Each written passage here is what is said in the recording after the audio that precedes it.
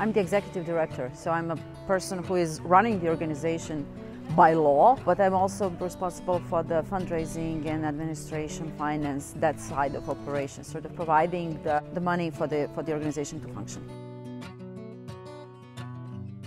I would say fair, professional, of course, and uh, based on, on facts. I'm running the Center for Investigative Reporting, so we are a media agency that is dedicated to provide fair and unbiased information to the citizens of Bosnia and Herzegovina and the region because some of the topics that we cover are also regional. By doing that, we are trying to, of course, provide as factual information to the citizen as possible based on the documents without any intervention, so any opinions, any, any additional diversions from the, from the fact. And by doing so, we are hoping that we are raising the level of understanding of the situation in the country or in the region, but also educating the people who are re our readers on which information are true, how to find those information, who to trust, and why to trust that particular source of information that they are they are deciding. By doing that, we are countering disinformation. So basically, just by teaching the audience that information are available through trusted sources, they are basically fighting disinformation just by doing the search. Fact checking is a new term in, in, the, in the sort of a global media phenomenon, but basically every serious news organization is doing fact checking within the, the office. In our case, basically that's the last level of verification of this before the story is published, where the independent person who, who did not participate in the investigation on the story is actually uh, checking that all facts stated in the story that is finalized, basically went through the editorial process and, and, it's ready to be published. Now the fact checker is, is checking whether all the statements are based on the documents and that they are not misinterpreted, which is basically the, the main thing. So fact checking in the context of media reporting is an inclusive part of the process of developing stories or the video or any, any other media product, but basically uh, it's inclusive of the media reporting process.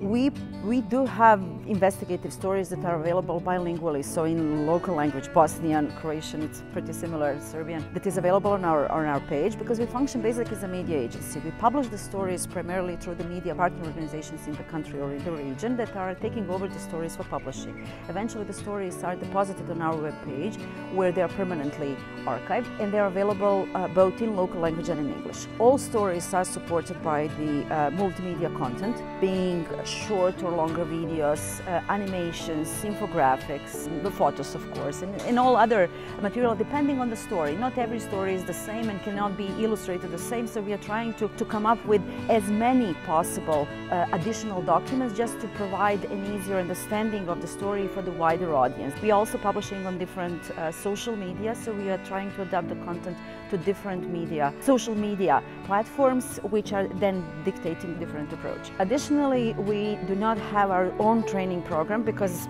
we are investigative reporters, but we do provide lecturing for the trainings that are done by other organizations. But we do have some of the educational material that is published on our webpage. So basically our webpage is the, the collection of all of our materials that are provided for the years. This is our 16th year of existence. Plus we're also trying to summarize the, the achievements of a year in an annual report, which is also published on the web, to provide an easier access for the audience to something that is, that is a highlight of a previous year. So either by numbers, when we are trying to basically address certain results of, of our stories or most successful stories or stories that have actually uh, made a change in the society because that is an ultimate goal of journalism in, in, in, general. Additionally, we are working a lot because our investigation is based on, uh, on documents. Amount of documents that we are, official information that we are collecting with every research is massive, so we are trying to put that into additional use by uh, providing access to databases. So a lot of our research, a lot of our, our investigations ended up in a database on that particular topic, which we are basically trying to, to assist the, the officials in, in terms of sort of providing an easier access, a digital access to the documents that they have in our hands, because that's a big thing in, in, in Bosnia these days, but we're also trying to provide an easier access for other fellow journalists, researchers, anybody basically, to continue research. Because again, data journalism is a, is relatively new thing in the Balkans, but it is not a, a new thing in the rest of the Europe or in the world. So that is basically, we are trying to provoke others to look in the documents and, and try to find a different angle, different story, additional story, uh, provide access for additional research and stuff. So different components that are actually adding up to the same goal. I think that the biggest challenge overall is that we have to really fight hard to, to go back to the basis of journalism. Journalists will have to go back to respecting professional standards. They did not change. They might have adapted to the new situation in context uh, of adapting to, to new platforms that are obviously appearing and will continue to appear. Journalists these days are fighting with social networks, with citizen journalism, which is a concept that is hopefully going to die soon because it's not journalism. We should not be calling it that way. But the fact that uh, journalists are so often criticized for not being professional, for, for, for being biased, for being politically affiliated with different political options is, is definitely diminishing the position of journalists themselves and basically exposing them to being called liars, to being called political hands, and any derogative name that, that are. So the challenge is to go back to the basics, to go back to professional standards, and to adapt to the new new time. There will always be a need for journalists. It's a continuing need for unbiased information, truthful information. That everything else that is affecting that connection between audience and journalists basically is something that we all have to fight for, and that is the, the remaining challenge. Challenges also are financial, are professional, are educational, are, I mean, you name it, but that's, that is basically not different from any other profession. We just have to continuously learn and continuously uh, adapt to, to, to the challenges of the society. Number one, journalists will have to start cooperating with fellow journalists from the rest of the world. There are great solutions in the world and it has never been easier to access those solutions because of the internet and because the world is becoming very global. So communication and cooperation among journalists uh, just continuing communication in particular, sharing the information, sharing knowledge, sharing solutions. How did you come up with certain story? What did you do to investigate this or that? That is definitely on the side of journalists. On the side of, of general public, we as, as citizens of this world will have to find a way to engage more in selecting the sources of our information. I do that for living. That's simply the way I have to do. But everybody, we have to spend time every day to educate our neighbors and our friends and everybody else just to, to let them know. People are, are taken by their, their job to do something else and they, don't, they just want to read the information, don't want to search for the information. But they have to learn and, and adapt to the, to the fact that not all the sources are actually truthful sources. That's definitely the way to, to, to fight. We are here for, for four days to talk about fighting disinformation and hate speech in, in particular because that is becoming a, a threat to the societies. But we will not be able to cancel the platforms that are the spreader of the hate news or disinformation. We will have to just find a way to counter it by providing the content that is based on the information. I think that's the only way. We cannot forbid. Every time when you forbid something, that is becoming actually more interesting for everybody. So I think we'll just have to find a way to, to provide truthful information on any false information that is out there. COVID-19, COVID-19, COVID-19. I think the starting of the epidemic, it's not the date that we can talk about as the sort of the start of the disinformation. It only brought up all the evil sides of disinformation and, and how it can actually make confusion and, and fear and how we can juggle with all the all the bad sides of the pandemic. So I think that the, this year will particularly be interesting for the researchers to come basically to, just to see how how the same groups. Uh, it's interesting to me that with every new thing that uh, that countries in the, in the Western Balkan or else in the world are trying to implement in, in, the context of the contemporary world is actually fought by on the same basis as that's not a traditional norm. COVID is not traditionally here, so we do not believe in COVID and we do not obey to the, to the rules. Pride is not a traditional thing, so we don't want LGBTIQ people protesting around us. Uh, global warming is not a traditional thing, so we do not accept the global. It's always the same same thing, the traditional life and traditional norms. Traditional life has changed, new world is here to stay, so I think we will all have to accept that certain traditional norms are also adaptable, including fight against COVID. Eventually, we will get to the point where we have a vaccine that will be available for the general population, which I think it's going to mark the history definitely by the anti-vaxxer movement. So that will definitely be the date in time to come, hopefully soon enough. The anti-vaxxer movement is going to uh, grow up again. So they will be very loud and, and very present. I think that another sort of milestone in the future is going to be the time when we can officially declare the pandemic is over. So when we have to go back to learning how to live normally as we did before the pandemic. And I think that, that the next sort of step is definitely related to accepting that human rights are to be respected with no questions asked. When will that date come and whether we will be able to mark the day or the period in time when, okay, everybody were accepting that human rights are equal for everybody, that's another question, but I think that should be marked as a holiday in some future calendars, hopefully in 2020, if not 2021.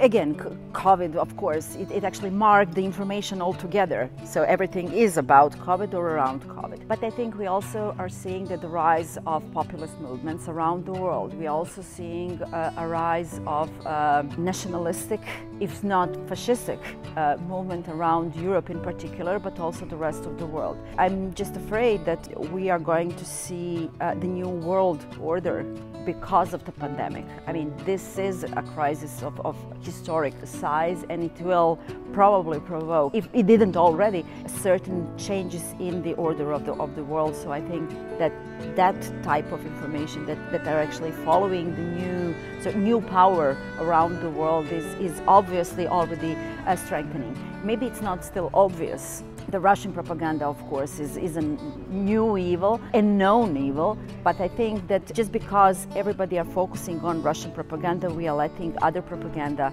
of all others not to name them here, I think that we are just letting it go simply because we are too much focusing on one source of this information, which I'm very much convinced that it would actually be better if we would focus more not just by declaring uh, Russian sources of information as false or fake or what uh, disinformation, but basically trying to learn to read and see the truth from their side, and then be able to sort of bring the bridge over this this uh, long-standing uh, conflict now in, in information. So that is a challenge for the world to start thinking how to get over it. There is a, a rise of fact-checking portals that are not journalistic, but basically they are actually functioning as, as a typical fact-checking organization. So they are basically taking the, the story, the information that is available, and checking it against facts and providing sources for the facts that they're there. I think that that is a good tool in addition to all other tools. That is a good tool for education of the public.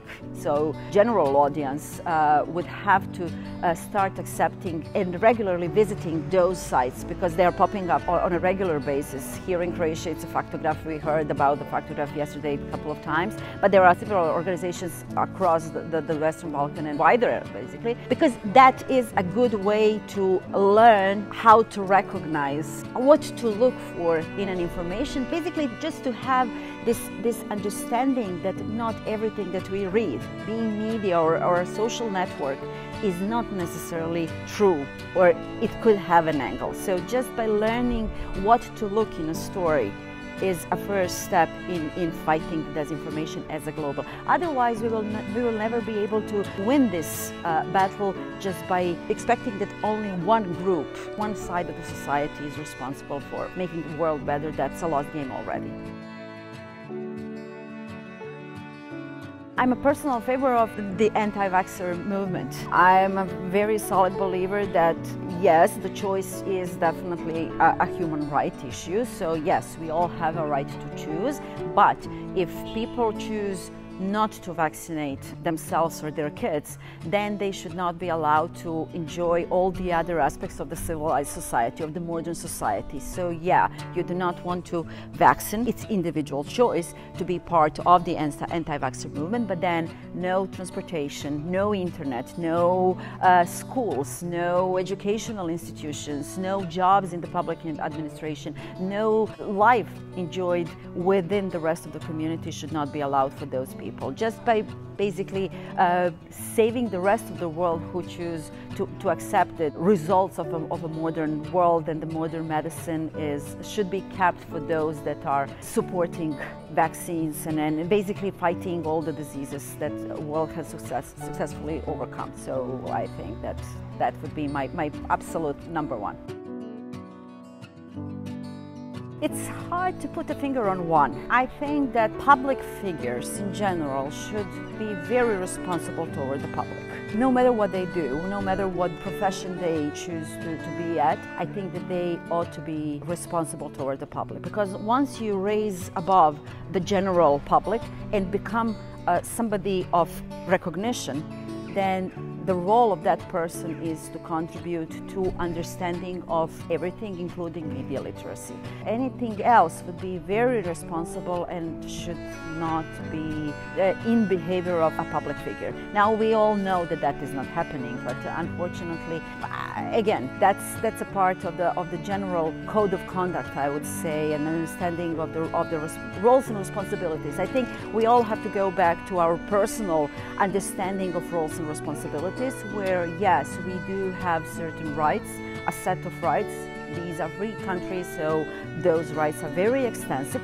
But at the same time, once you have a right, you also have a responsibility to respect that right, but also to behave in accordance with that right. So, no absolute freedom, freedom is very relative in the context of respecting the freedom of somebody sitting next to you, no matter whether you like or not that person or that custom or that city or whatever it is. It, it would be very hard to, to name just one, but I think we have to be very careful again in, in selecting the, the role models, particularly in the younger generations.